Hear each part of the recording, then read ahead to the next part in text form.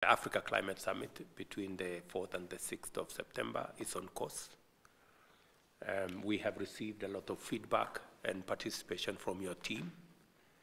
And uh, there was a meeting in uh, Addis on uh, the African Ministers for Environment uh, this week. And we got a lot of feedback from your teams and uh, from the rest of the continent.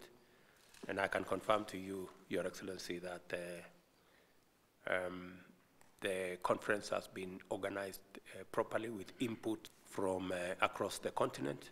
It is the first time that Africa is going to consolidate our position, our ideas, and our suggestions and proposals on how we think uh, climate change is affecting us and what are the possible solutions going into the future.